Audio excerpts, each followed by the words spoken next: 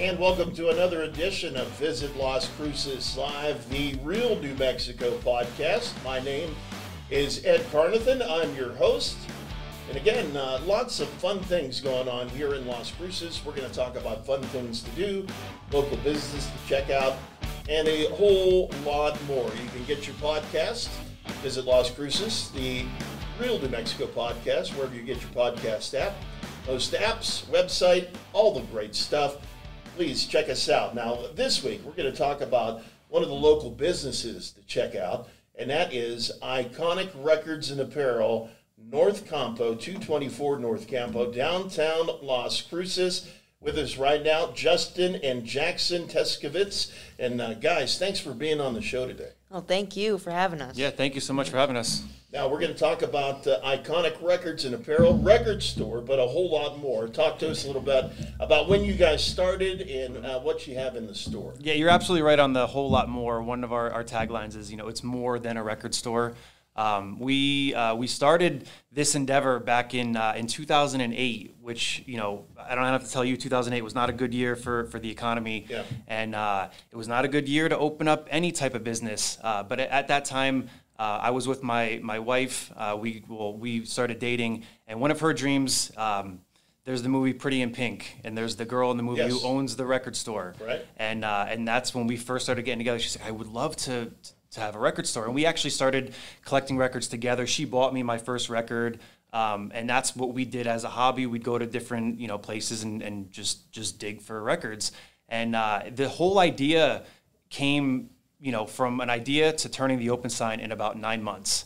And that was in, again, that was in 2008. My, my son Jackson was born in 2009. So, yeah, I was like raised behind the desk. he, he really was, yes. Um, and, and it's really just been a, a, a you know, homegrown, small family business from the ground up from the beginning.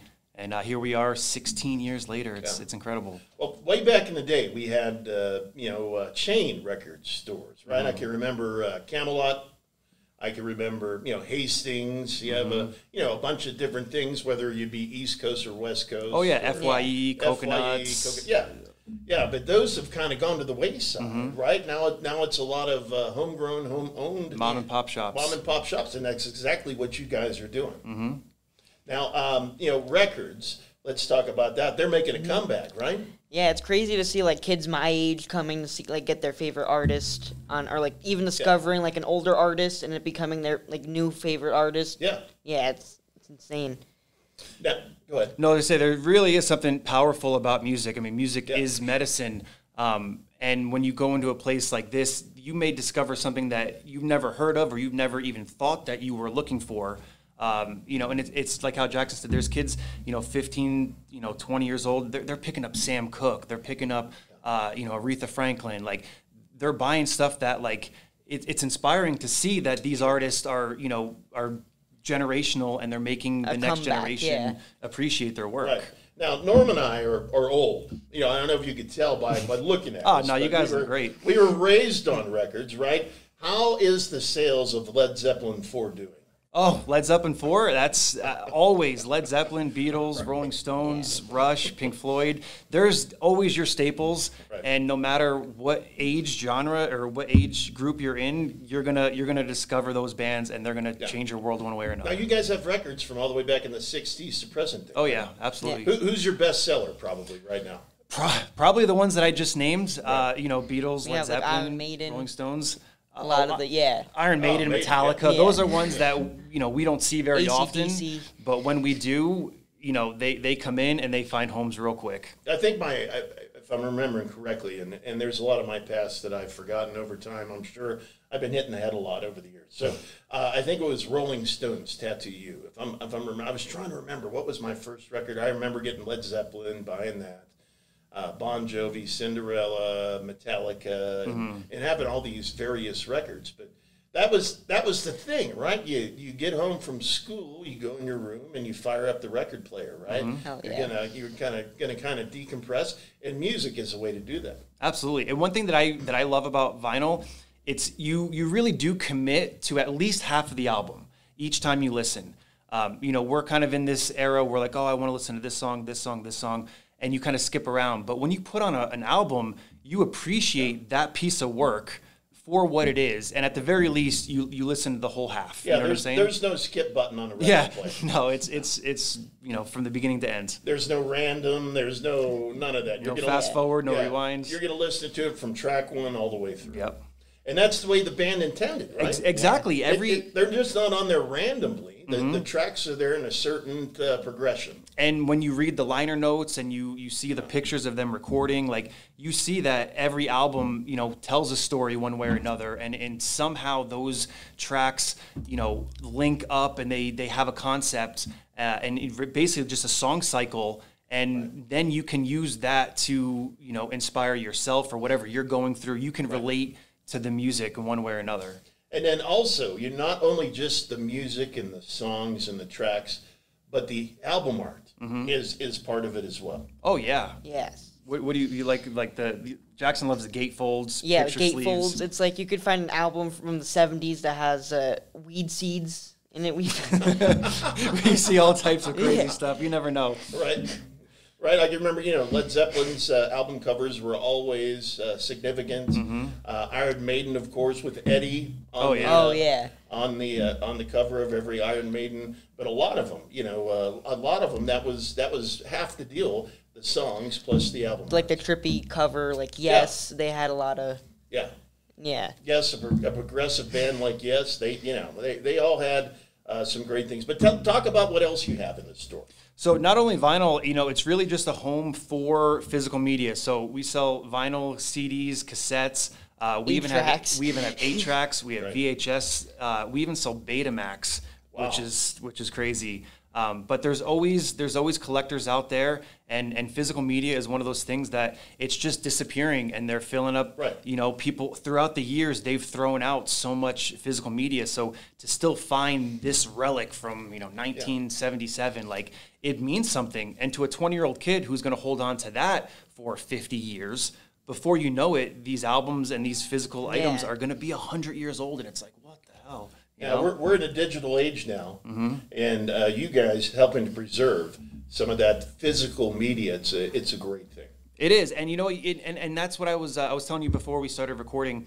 Um, there's really something special about seeing these younger kids come in and and buy CDs or buy cassettes, and I feel like that they grew up in this digital age where they have all the music at their fingertips. They can find anything. But when you collect music and you and you build that collection, it's something meaningful. And for the first time, these kids have ownership over their music. You know, You and could see like a five-year-old buy their first Sesame Street album, and then on the same day, a fifteen-year-old buy their first Iron Maiden album, and then And yeah. on the same day, you see an 80 year old gentleman picking up, you know, that Willie Nelson record that he's been looking for for decades. Right, that to, to complete his collection. Yeah. right? Uh, people like to do that. They'd like to complete their collection and have all the albums, or you know, what, whatever it might be, to to fill up that one artist. See, my what, what, one of my favorite uh, bands of all time is Van Halen. Okay. Oh, yeah. Love Van Halen. They were you know part of my youth. They were. I still listen to this day, and there was nothing like putting the needle down on the vinyl. Uh, just the, the feeling of that, and Mm-hmm. the and the and the, the sounds different, right? It does. It's Hear that sounds- crackle. Yeah. and, and it's it's hard to explain to somebody who hasn't experienced it. And I use the the metaphor as like you could watch a movie on a little TV on a VHS, but you could watch that same movie in an IMAX movie theater, and it's the same movie, but the experience is completely different. Right.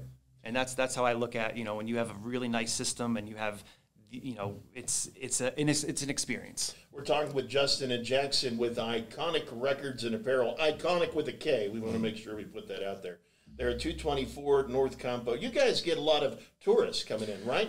But that's a that's a touristy thing to, to visit record It is. stores. It is, and you know, we're even when we go to different cities. Oh, where's the record stores? You know, or Right. where's the where's the comic book shop? Where's the small business that we can that we can check out? And uh, and we do see a lot of um, a Like lot of tourists. Canadians. Yeah, a lot of Canadians come in. A lot of Canadians. Yes, All right. I don't know if there's a lot, but we've we've seen people come through from seen like from three from in the France. past week. We've had uh, we had uh, Oh. people from from Japan. There was the guy that Yeah. came in. He was he was coming through, um, and it's uh, it's, People from the UK. Mm-hmm. Yeah. Yeah. And you got you guys also have uh, video games. Oh, from, yeah. From back in the 80s and 90s as like well. Like Centipede. Right. Yeah. Oh yeah, so that's like, and that's one thing that back in 2008, I wanted to create this environment where you know you walk in and it's a record store, but it's it's so much more, and it's it's a basically like a walk through a time machine, and you feel like you're in the 80s or 90s or whatever era you want to be in. You're there. Yeah. You know. You guys have a website people can uh, check everything out at? Well, right, right- right now we just you know you can find us on Social Instagram. media? Yeah, Oh. social Yeah. media, Instagram, uh, Facebook. um, TikTok.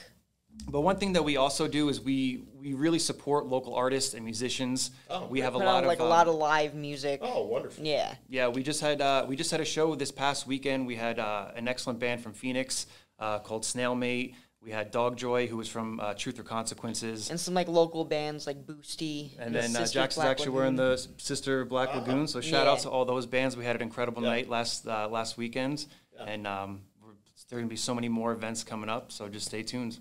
Well, go in and check them out again. 224 North Campo, downtown Las Cruces. Guys, thanks so much for being on the show. We really appreciate Oh, it. thank you Thank for the you so much. And before we close out, we always have a question we ask everybody on the show. It's the final question. There's no right or wrong answer, just whatever you feel. When you're talking to somebody that's never been to Las Cruces, New Mexico, or is not from here, what do you tell them is your favorite thing about the area?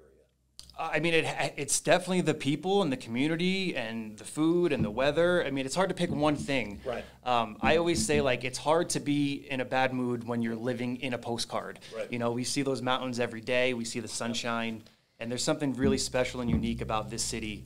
And uh, we're looking forward and to yeah, the just like seeing everybody come together at the shows and just how like like he said, the community is just coming together and just with at the record store, everybody is just friends. Yeah. it's And at the end of the day, we we just want to make people smile. Right. You know, we want to get these records into a collection where they're going to be loved and adored. We want a place for artists to do their work and play their music and uh, And get have people- discovered. Of course, Yeah. yeah. And, and there's magic that happens, and it's it's weird to say, I know, but it, you have to experience it. You have to be there, you know, during one of our live music events or on a Saturday, a busy Saturday, and that's one thing that we don't have is human connection anymore. Everything is on social media and behind a screen. Yeah. But you walk into but a record nothing store. beats like face to face. Yeah, for sure. Yeah.